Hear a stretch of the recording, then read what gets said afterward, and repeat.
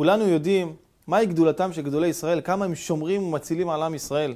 כמה אנחנו זוכים שיש לנו את לומדי התורה, את בני הישיבות, שהם בעצם מגינים על עם ישראל בתורתם. יש סיפור מדהים. רבי שלמה נניאדו היה רב העיר בחלב, היה תלמיד חכם עצום, היה מנהיג את הקהילה שלו ביד רמה, היה צדיק גדול. יום אחד הוא הולך ברחוב, לאחר תקופה גדולה שיש להם מגפה נוראה בעיירה. וניגשים אליו יהודים, בוכים לו, הרב, מה אנחנו עושים? ובאמצע שמדברים איתו, הם פשוט נופלים ומתים, מגפה נוראה. הוא לא ידע מה לעשות, התחיל, כמובן, מה שעושים בשעה הצרה, מתפללים לקדוש ברוך הוא. הוא הגיע לבית שלו, היה לרב שמש שהיה בעל מום. הוא היה לו איזה מום גדול, ממש לא מכובד, והיו כל פעם אומרים לרב, הרב, זה לא מכובד שיש לך שמש בעל מום, תחליף אותו. אבל הרב לא ויתר עליו. הוא היה אוהב אותו בכל ליבו ונפשו.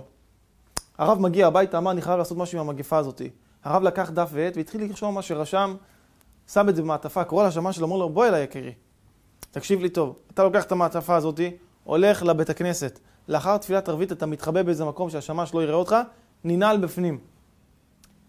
אחר כך אתה תשמע רעש בתוך הבית הכנסת, ויש שם מלאכי חבלה קצת, עם שדים ועניינים, שהם אחראים על המגפה בעיר שלנו.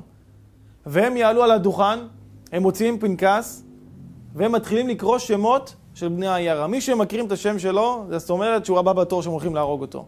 ברגע שלפני שהם מתחילים לקרוא את השם, אתה רץ אליהם, נותן להם את המעטפה. הרב, בבקשה ממך, מתחנן, אני אמות מפחד, מי יכול להיות שם? שמעת מה אני אומר לך? הרב, אני מתחנן אליך. שמעת? זה לא בקשה, זה גזרה. ואני מברך אותך שלא יאונה לך כל רע, וגם המום שלך ייעלם. טוב, אין לו ברירה, הוא הולך לבית הכנסת, מתפלל, איזה תפילה הייתה לו, חביבי, לא ישכח אותה בחיים שלו. הוא מתחבא בתוך איזה ארון, כולם יוצאים לבית כנסת, השמש סוגר את הדלת, פתאום הוא שומע רעשים. מה זה רעשים? הוא פותח את הדלת, הוא רואה שם אי מלא, מה זה הדבר הזה? מלאכי חבלה, רואה שם, הכל שם, שישו ושמחו. כולו רועד מפחד, מתחיל לו כאבי ראש, כאבי ברכיים, ידיים, הוא לא יודע איך קוראים, הוא, הוא פשוט לא יודע מה לעשות, הוא רועד מפחד, עוד שנייה פורח נשמתו מפחד. ואז הוא רואה ששניים עולים אל הבמה, מוצאים את הפנקס, באותו רגע הוא רואה את הפנים של הרב שלו ממולו, והוא עוזר כוח, ופתאום הכל נעלם לו כאל היה, והוא מרגיש שהמום שהיה לו נעלם. תופס עצמו ורץ לכיוון הבמה. פתאום רואים מישהו רץ אליהם, לא מבינים מי זה. מגיש להם מעטפה. הם פותחים את המעטפה, והם רואים שרשום שם בראש, הרב שלמה נניאדו, רואים אותו, או, מה הוא רוצה? אני מבקש מכם ברגע זה לעזוב את העיר שלנו. בברכה, הרב שלמה נניאדו. הם מסתכלים אחד על השני שם, ראש החבורה כנראה אומר להם, רבותיי, אנחנו ברגע זה צריכים לעזוב את המקום, לעבור הלאה.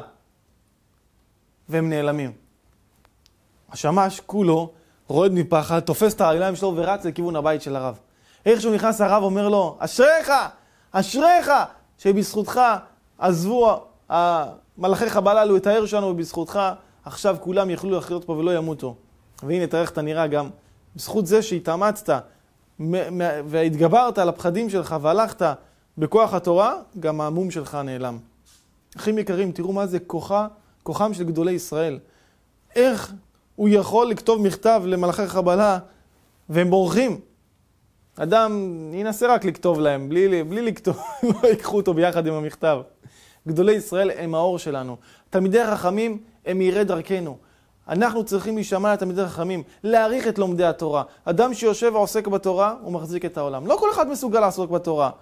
יש אדם שמסוגל ללמוד שעתיים ביום, יש אדם ללמוד ולעבוד. אבל אדם שעובד חלילה לזלזל בלומד התורה, חלילה וחס. אדם שעמל בתורה, הוא צריך להיות עטרה לראשנו. גדולי ישראל הם האור שלנו, הם מגינים עלינו. יהי רצון שנזכה בעזרת השם ללכת בדרכם ולשמוע בעצתם עד ביאת משיח גואל צדק, אמן כן יהי רצון.